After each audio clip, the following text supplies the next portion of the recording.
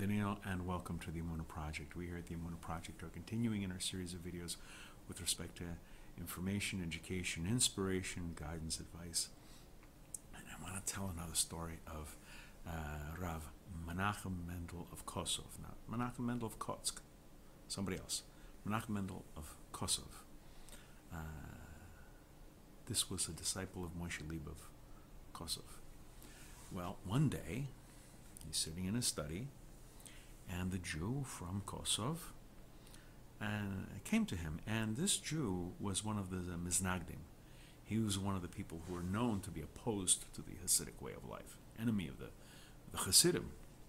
In those days, it was uh, hotly uh, contested between the Misnagdim and the Hasidim, and they it wasn't one big happy family like we are now.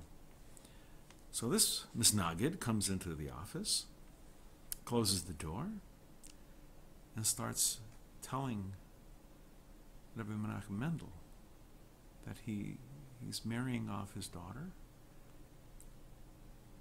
and um, he didn't have the money for her dowry.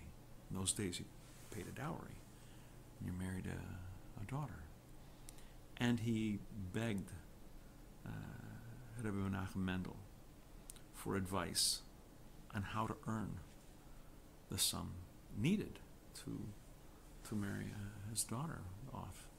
How much for the dowry? He just he didn't know how to come up with the money, so he's begging Rabbi Menachem Mendel. So the Rebbe asks, "Well, how much do you need?" He goes, "A few hundred gulden, a lot of money." Rabbi Menachem Mendel nods, opens up some drawers in his desks, empty them out, counts out the money, and gives him several hundred gulden. Gives it to him, not alone, gives it to him, a gift to the man. And the man is um, gives the money to the man. Soon after, the tzaddik's brother, Menachem Mendel's brother, hears of what happens. He comes to the house and he takes uh, the Rebbe to task and saying, whenever something was needed in your own house, you said you don't have the money to spare. You don't have the money to spare. And now you gave such a large sum of money to a misnagid, one of the misnagdim, the people who hate us, the people who, who are opposed to us. You gave money to your adversaries, to your enemies. And Menachem Mendel sat at his desk and smiled. And he said, um, Actually, it's funny you should say that because um, someone was here before you. And he said basically the same thing, except uh, he expressed himself much better than you did. And the brother says, Yeah, who, who was it? And Mendel, uh, Mendel replied, It was the Satan, the Yetzer It was the evil inclination.